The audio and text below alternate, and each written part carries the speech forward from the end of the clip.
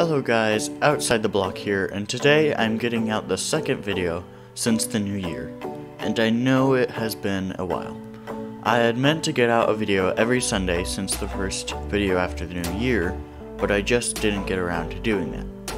Though this time, I will be going on the regular schedule from here on out. Now I've been looking into redesigning my whole channel, and I need you people to throw your hat into the ring and tell me about what I should do because in the end, that's what you guys are going to be watching.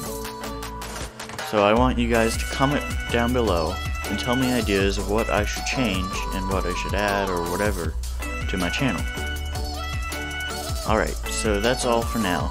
Just sit back, relax, and enjoy the video.